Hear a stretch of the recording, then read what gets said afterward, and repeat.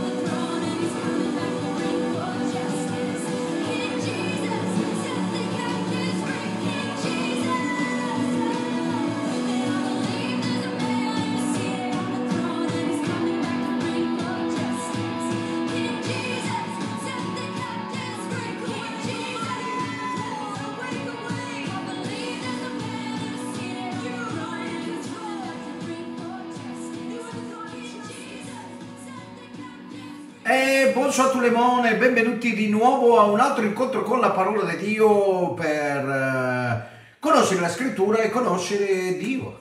Se vuoi conoscere Dio devi conoscere per forza la scrittura.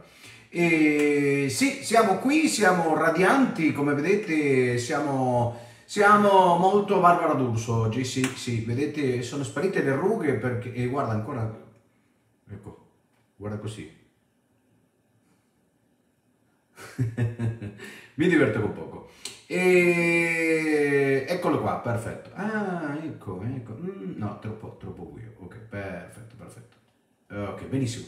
E come stavo dicendo, ah, cosa stavo dicendo? Non so cosa stavo dicendo, ma sicuramente era qualcosa di interessante. E eh, oggi abbiamo uno studio molto, molto, molto interessante. Notizie. Eh, domani, domani, domani, corso di guarigione e liberazione e, faremo introduzione all'amministrazione o vedremo le, le quattro necessità basilari dell'uomo. Quattro necessità basilari dell'uomo.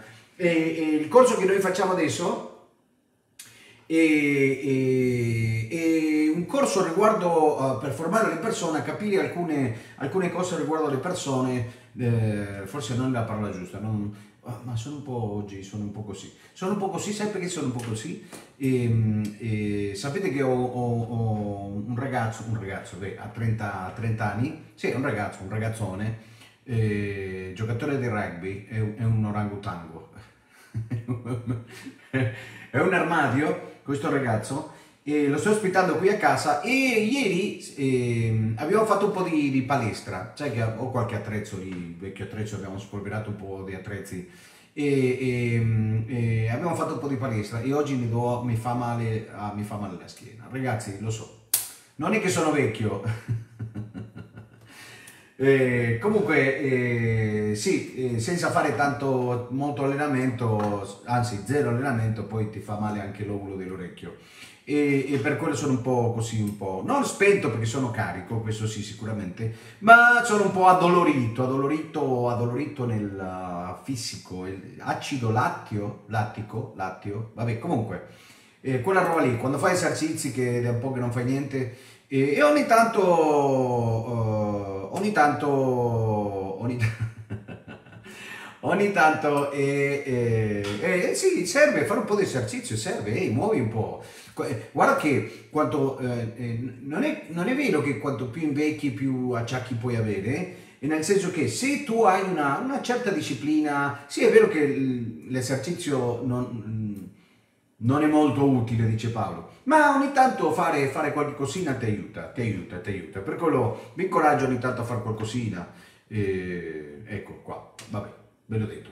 Adesso sì, ehm, domani, domani abbiamo, domani abbiamo la corso di guarigione e liberazione alle 20.30 su Zoom, 20.30 su Zoom e ehm, per come sempre chi vuole partecipare potete benissimo chiamare al nostro Pasca, Pasca quale, il quale ti darà, ti metterà una chat, una delle tante chat che abbiamo, così puoi scaricare il eh, ID per poter entrare al corso. È un corso gratuito e, e, e 20.30 su Zoom puoi partecipare benissimo. Così se, se- se la suocera si manifesta almeno sai come gestire la situazione.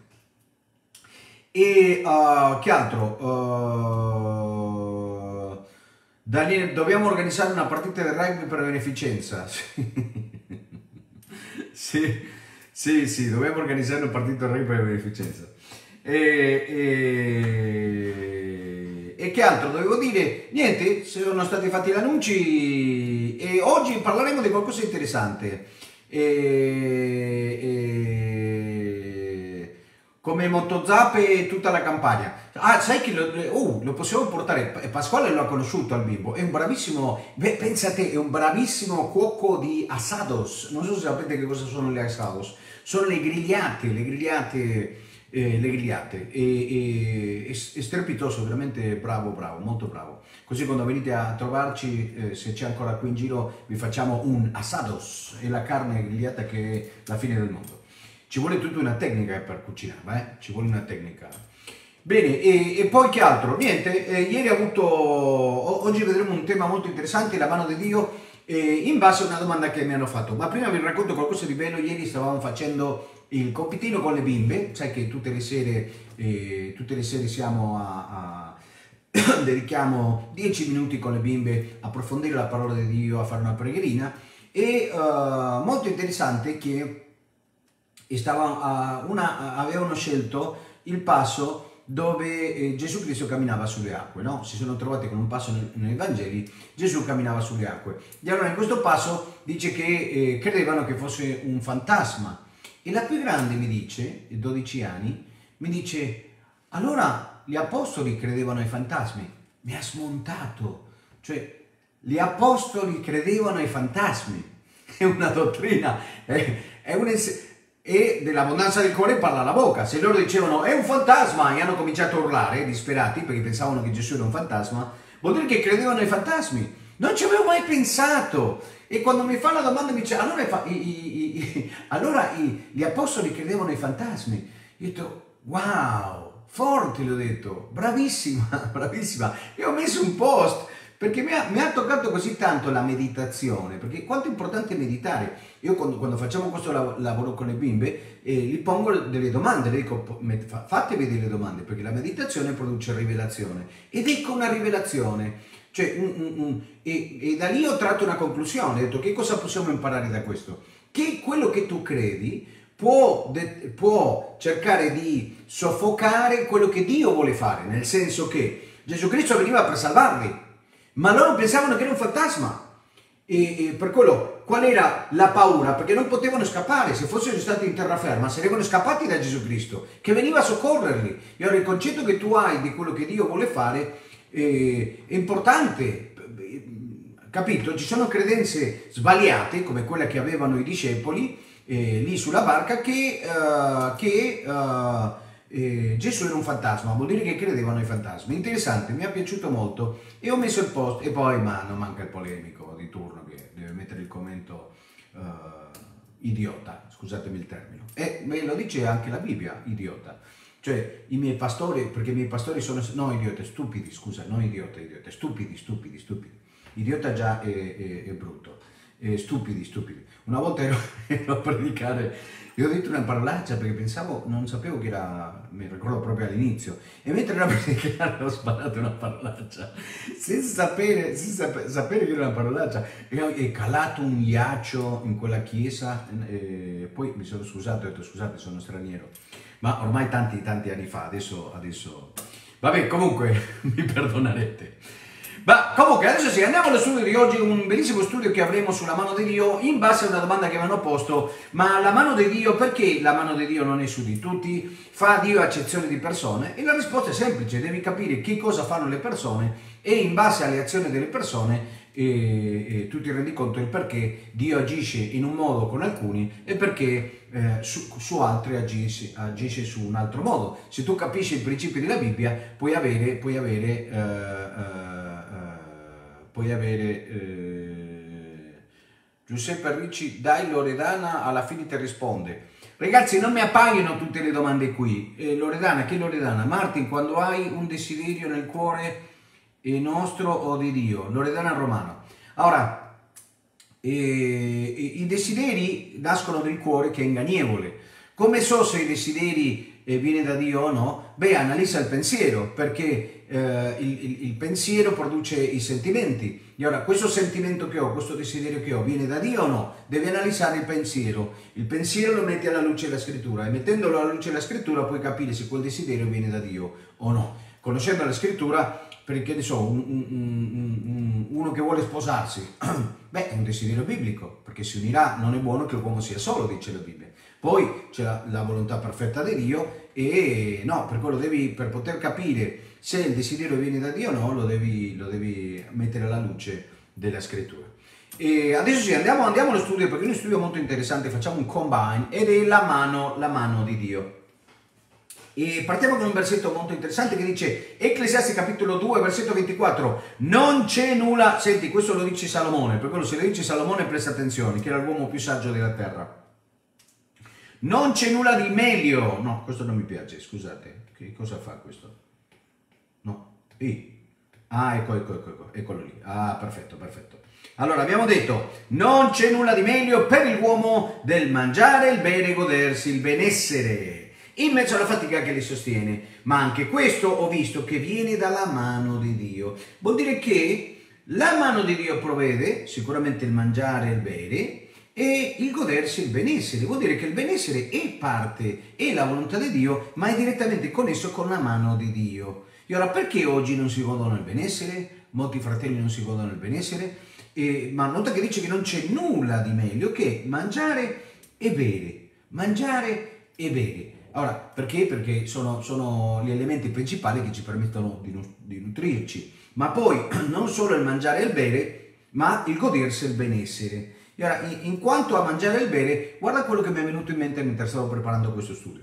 Sottolineo che il discorso è la mano di Dio. E ora il benessere è parte della mano di Dio. E se tu vuoi gustare il benessere, devi capire come attingere, come, come attivare la mano di Dio nella tua vita.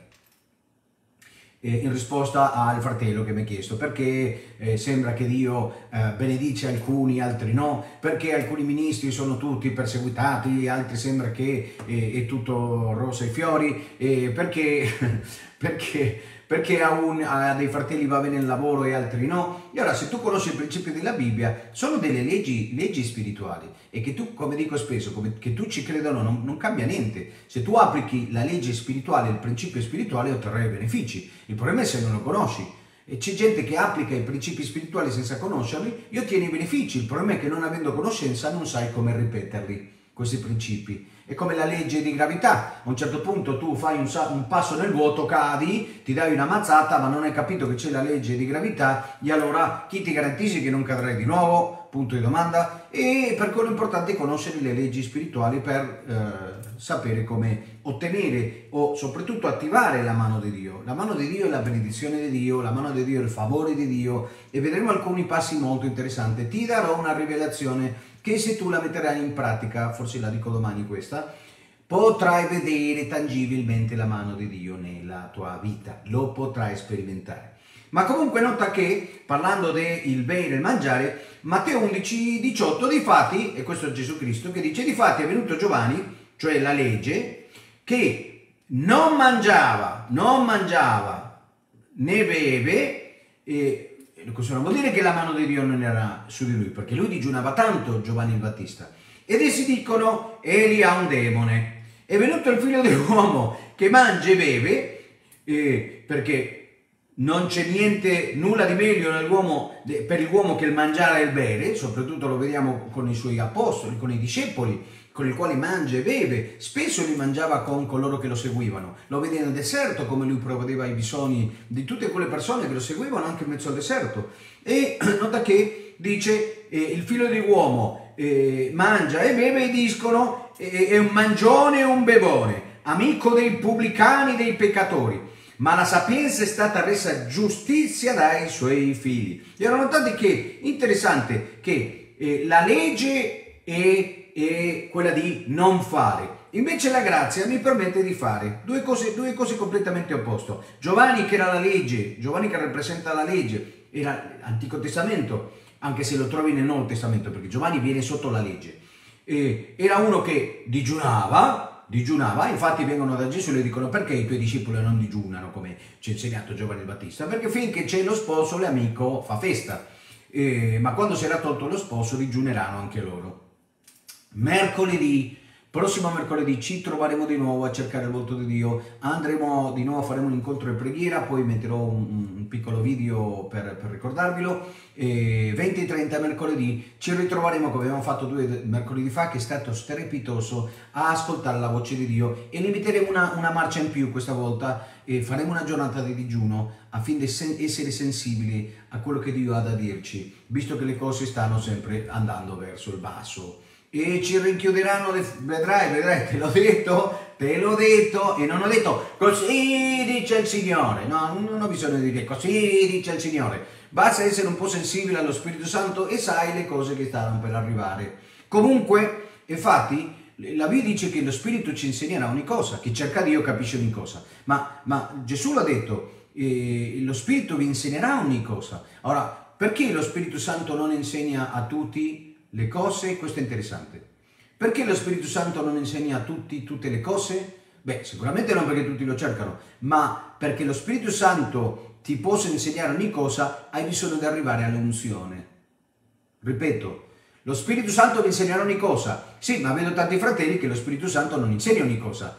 Eh, ci sono fratelli che non sanno perché sono malati, non- ci sono fratelli che non sanno perché le cose non funzionano. E perché lo Spirito Santo, se Gesù ha detto che ci insegnerà ogni cosa, non ce le sta insegnando? Beh, perché non tutti arrivano all'unzione. Perché eh, in, in- in Giovanni, in prima Giovanni dice che l'unzione vi insegnerà ogni cosa. Che l'unzione è la potenza dello Spirito, ma tu vedi che tutti abbiamo lo Spirito, ma non tutti raggiungono l'unzione. Come si fa a raggiungere l'unzione? Cosa lo vedi studiando la vita di Gesù? Gesù prima si, si fa- si fece battezzare di Giovanni il Battista, e Giovanni lo, lo cerca di fermare, ma lui dice: No, no, no, bisogna che adempiamo ogni giustizia, e il giusto per fede vivrà. Fa un passo di fede, e infatti, quando si battezza, che scende lo Spirito Santo eh, su di lui, le- e- e- subito dopo scende la parola e dice: Questo è il mio figlio amato in cui mi sono compiaciuto. Se Dio si è compiaciuto è perché Gesù aveva fatto un passo di fede, perché senza fede è impossibile piacerlo.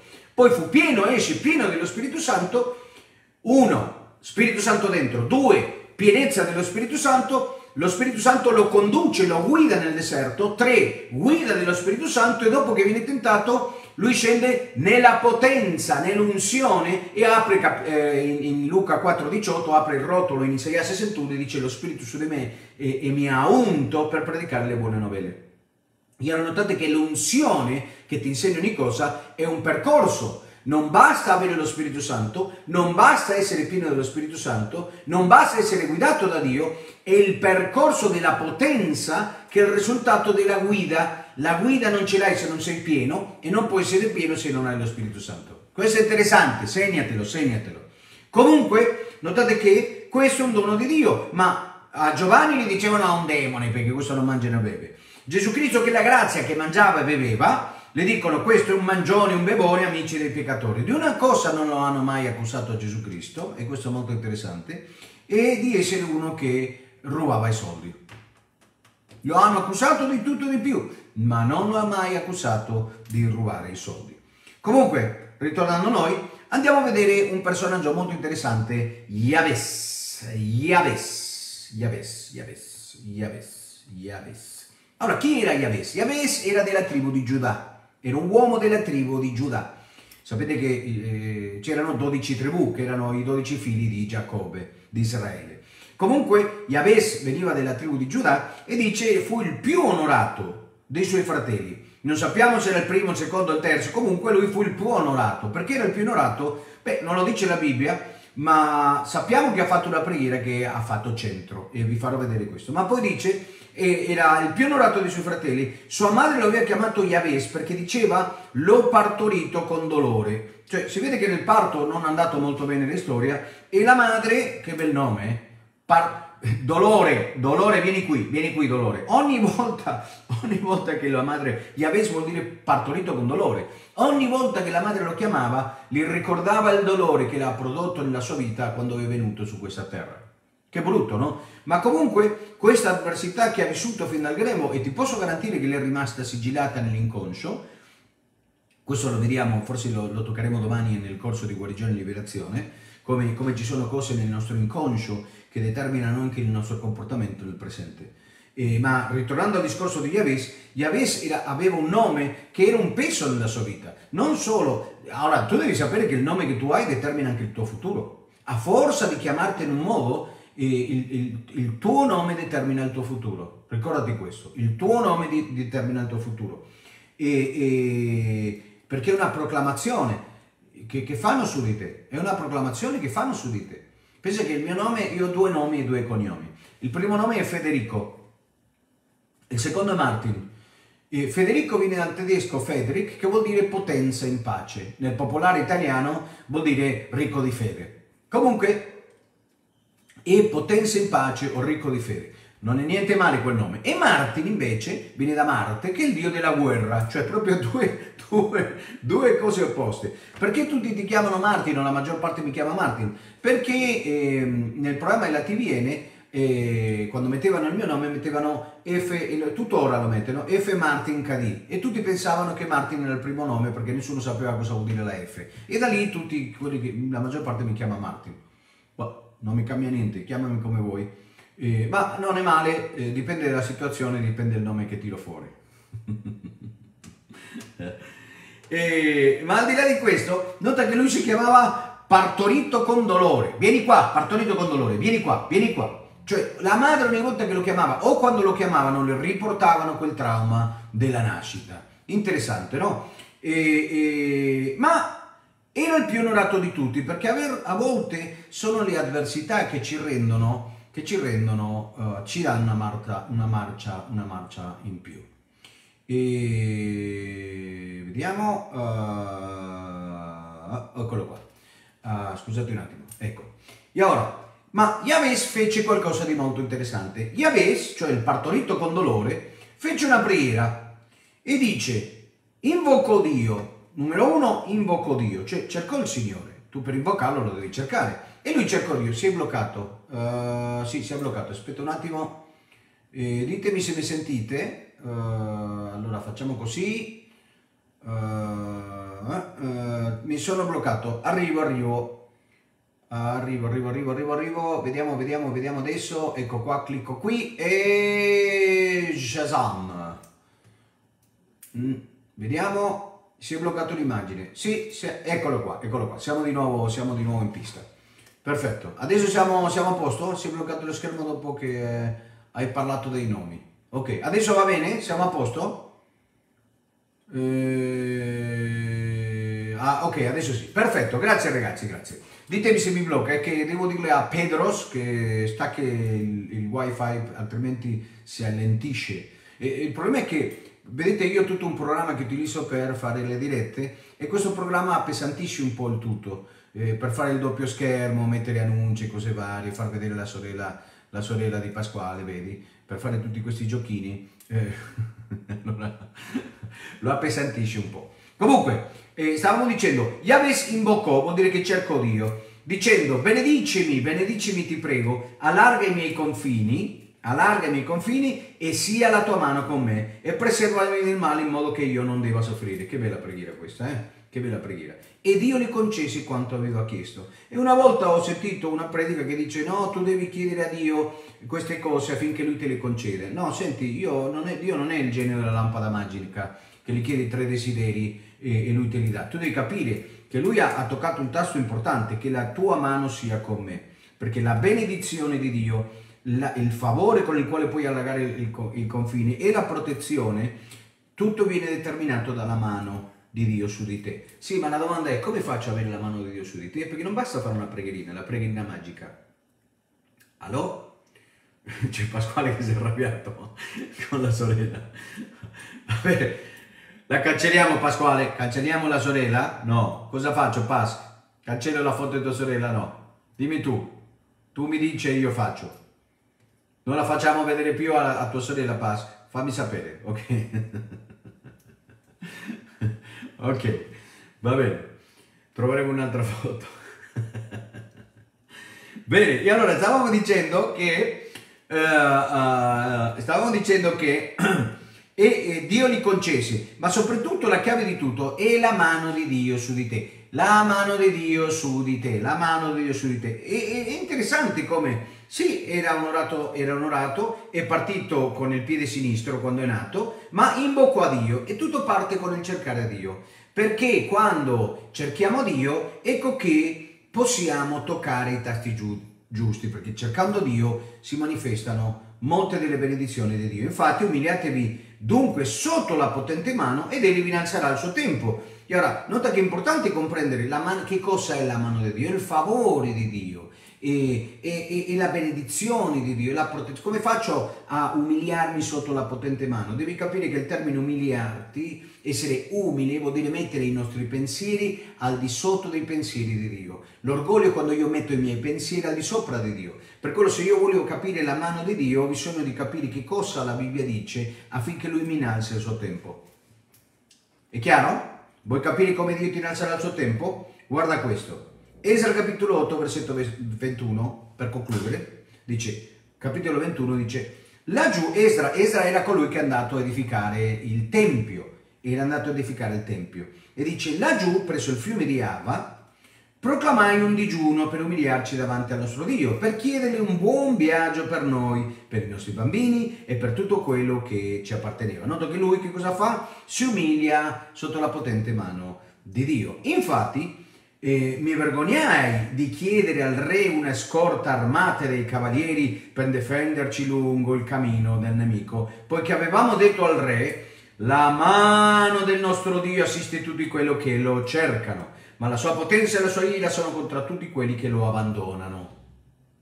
Era che interessante che nota, lui capiva che umiliandoci sotto la potente mano di Dio, lui ci innalzava. E così fu. E ora, la cosa interessante è che lui dice: No, il nostro Dio, la mano di Dio ci protegge, la mano di Dio assiste, la mano di Dio benedice, la mano di Dio allarga le nostre tende. E di fronte, di fronte, questa è bellissima, di fronte al re lui si vergognava di, di- chiedere un sostegno perché sarebbe stato illogico. Cioè come? Prima mi dice che la mano di Dio ti sostiene, poi mi chiedi una guardia perché ti protegga. E allora che cosa fece lui? Si umiliò sotto la patente mano di Dio. E non era più una teoria, non era solo delle parole, erano dei fatti. Perché parlare possiamo parlare tutti, ma dimostrare quello che predichiamo non è da tutti. E nota che la mano li assistì, perché chi si umilia sotto la potente mano si era innalzato al suo tempo. E che cosa fece?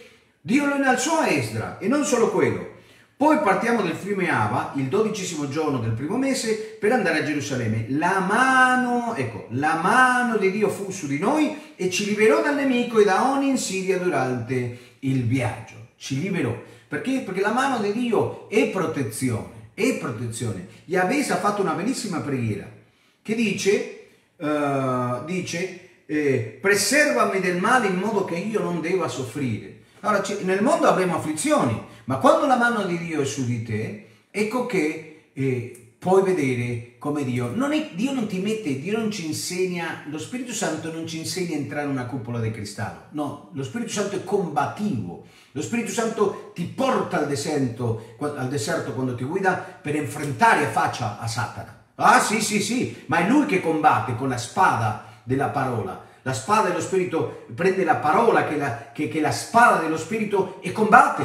Ma tu devi aprire la bocca, devi riempirti lo Spirito Santo della parola, altrimenti lo Spirito non ha niente da prendere. Ha senso? E ora nota come eh, eh, la mano di Dio, uno, scrivi questo, e domani vedremo tre caratteristiche fondamentali per manifestare la mano di Dio. Numero uno, la mano di Dio devi cercarlo, perché quello che fece eh, Yahweh, cosa fece? Invocò Dio. Perché numero uno, devi capire che se vuoi la mano di Dio, devi disciplinarti nella ricerca di Dio. Devi disciplinarti nella ricerca di Dio. E per quello noi eh, facciamo questi tempi di preghiera mattino, mezzogiorno e sera eh, con dei fratelli affinché tu possa imparare a disciplinarti a pregare un'ora al giorno.